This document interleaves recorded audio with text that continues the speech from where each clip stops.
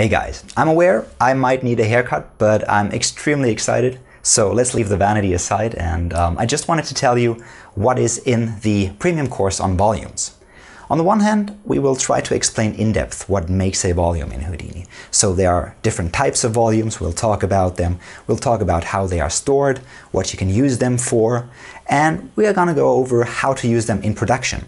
That means not only using them for the obvious stuff like smoke and fire and explosion simulation, but also using them to drive, for example, a particle system, or to use them to model and simulate something, for example, modeling growth.